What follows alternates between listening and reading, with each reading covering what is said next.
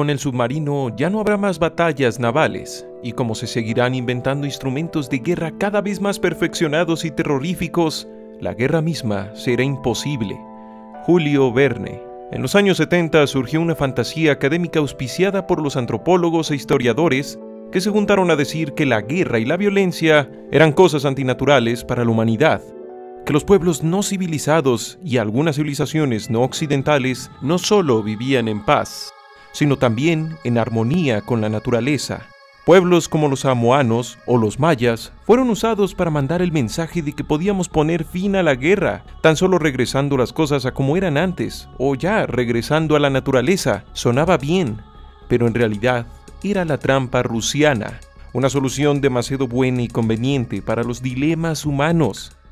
En la actualidad hay bastante evidencia para saber que la Edad de Piedra fue por mucho más violenta que la Edad Media, o que los mayas devastaron su medio ambiente, todo para hacer sus construcciones, y que guerrearon como los demás, y que incluso en las tribus aisladas que aún existen, no se encuentra por ningún lugar ese jardín del Edén donde los humanos primordiales habrían de vivir en paz.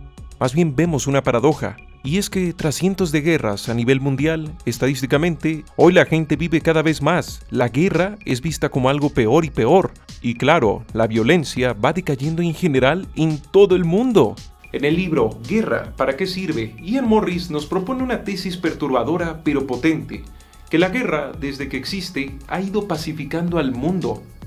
O en otras palabras, digamos más metafóricas, que Ares no solo era el dios de la guerra, sino también sin querer era el dios de la paz. Con diversos datos y evidencias, Ian Morris nos muestra que las posibilidades de que te pasara algo terrible a manos de otra persona fueron cayendo poco a poco, y que de hecho en los primeros imperios, los imperios de la antigüedad, todavía cayeron más, y que cuando estos imperios se destruyeron, ¡pum!, volvió a subir otra vez. Solo hasta nuestros días ha sido que otra vez vuelven a empezar a caer y a caer y a caer hasta un punto ya mínimo. Lo que trata de decir Ian Morris es que el mundo hoy es más pacífico y que tenemos formas de comprobarlo, o por lo menos de defender esa idea. Ya que antes de la guerra los enfrentamientos entre tribus o grupos eran saqueos que buscaban robar todo lo posible, actos que cuando lograban hacerse por sorpresa siempre terminaban en aniquilaciones totales. El atacante de estos tiempos era un bandido nómada que no podía arriesgarse a dejar nadie vivo por las posibles represalias, pero que por sobre todo no tenía ningún tipo de beneficio en dejar gente viva o chozas en pie. Ya en un mundo con guerra, desde tiempos de Ciro el Grande, uno de los primeros conquistadores, el que hacía la guerra se volvió un bandido estacionario, que veía mayores beneficios en dominar grandes cantidades de terreno y pobladores que produjesen alimentos y todo tipo de lujos como la ropa, las joyas y los vinos, por lo que aniquilar a todos y hacer arder todo era una de las peores formas de hacer la guerra. Siempre generaba más beneficios la guerra productiva. Lo sé, esto suena mal. La mecánica era simple, para que el bandido estacionario o el conquistador pudiera tener un ejército con el cual defender sus riquezas y a la gente de esas tierras, la cual obviamente era la que generaba parte, gran parte de esas riquezas, necesitaba mejores sistemas de organización, sistemas de recaudación de impuestos y sobre todo tener en cierto nivel de riqueza a su pueblo y obviamente también a sí mismo, ¿no? Por eso es que es un bandido estacionario, porque realmente está enriqueciéndose de otros. Con esto no es que pudiera pagar lo suficiente, sino pagar mejores ejércitos que los otros. Solo así podía acceder a lo mejor de lo mejor en cuestiones de guerra, porque sin eso no podía defenderse de los bandidos nómadas o de otros bandidos estacionarios.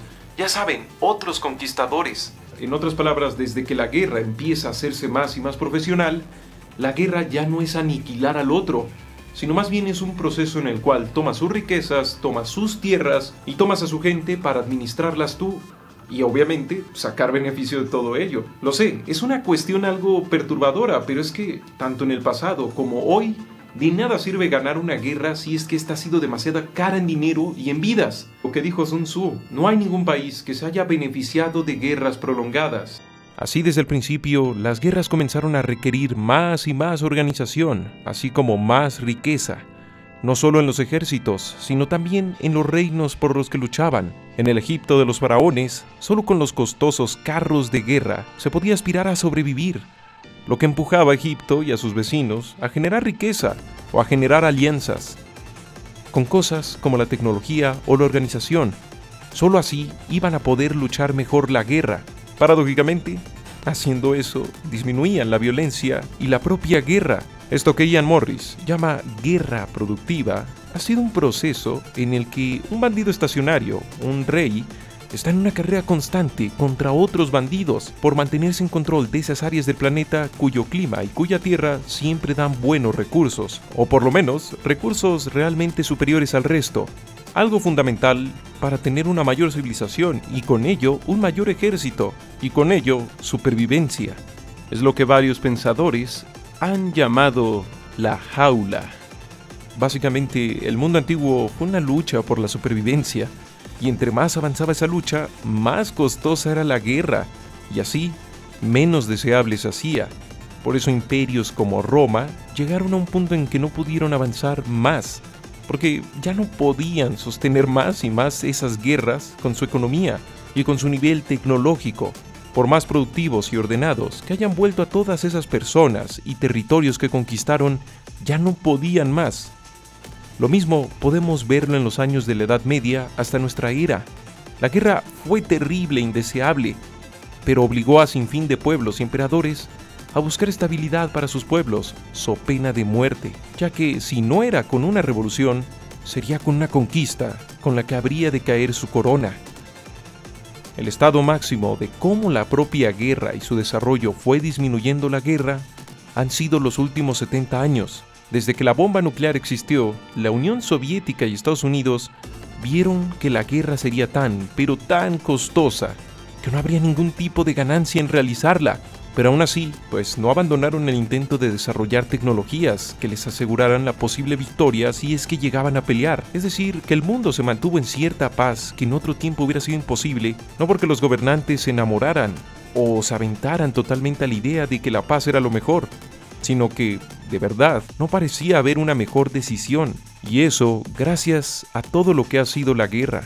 Si traemos este entendimiento de que la guerra, entre más se profesionaliza, se vuelve más cara y, por tanto más pesada y más indeseable, pues veremos que tras la caída de la Unión Soviética, aunque Estados Unidos se volvió el mayor poder del mundo, la lógica no había cambiado, Sigue siendo muy, muy, muy caro realizar guerras de gran tamaño, por lo que vivimos en un mundo donde la guerra a gran escala ya no es común. O sea, sí, las guerras regionales siguen pasando, pero eso de que Estados Unidos y China peleen, o Rusia y Estados Unidos peleen, ya es algo que sería tan, pero tan caro que aun si no usáramos bombas nucleares, el ganador quedaría tan absolutamente devastado que aun cuando ganase, estaría perdiendo. Es gracias a esto que hoy Europa puede parecer que está de cabeza, Sí, esa Europa tan llena de guerras que conocimos durante tantos y tantos siglos, hoy intenta apostar por un modelo pacífico, finalmente económico, pero pacífico, un modelo con el cual aspiran quizá algún día a ser una gran nación. Porque sí, esto ya no es el tiempo de la Primera Guerra Mundial, donde la guerra preventiva parecía el único camino a la paz y a la supervivencia. Suena bien, ¿no? Pero esto significa entonces que ya por fin llegamos a un punto muerto y que la guerra no volverá en la peor de sus formas. Por desgracia no. Aún hay espacio para vivir y ver horrores más allá de nuestra imaginación. Porque existe la guerra no productiva, esa que derribó a los imperios de la antigüedad e impidió que otros de verdad se alzaran durante muchos siglos la guerra no productiva ocurre cuando no se forma un leviatán o un bandido estacionario. Simplemente uno de los bandos puede ganar porque tiene una superioridad militar sin necesidad de tener un pleno desarrollo civilizatorio ni organizativo. El mejor ejemplo de esto fueron las incursiones mongolas que pusieron a temblar a toda Europa, que se dedicaron a barrer pueblos y ciudades y que tras de sí dejaban nada más que ruinas y fuego, al menos claro en la mayoría de las ocasiones porque tenían una ventaja abrumadora. Tenían las mejores tierras para criar caballos, con los que no necesitaban pesadas armaduras o grandes ejércitos, por lo que un rey que mandara una expedición con cientos o miles de soldados podía terminar arruinándose por perder todos sus recursos más que por perder una batalla. Ahí, en ese punto, ya no era necesario hacer todo lo productivo para seguir ganando guerras, esta es la guerra no productiva, poder ser un bandido sin necesidad de ser un bandido estacionario, sin necesidad de traer algún tipo de orden o algún tipo de desarrollo o algún tipo de organización. De la misma manera, la Primera Guerra Mundial tuvo todo para ser una guerra no productiva, ya que por un periodo de tiempo, Inglaterra, que por ese entonces era la policía del mundo, ya no tenía la hegemonía total, así como los nuevos avances tecnológicos y el desequilibrio de poder le hicieron creer a varios europeos que tenían la posibilidad de hacer una nueva guerra, que pudieran ganar de verdad, una guerra que a lo sumo duraría unos meses, una guerra que era determinante para sobrevivir.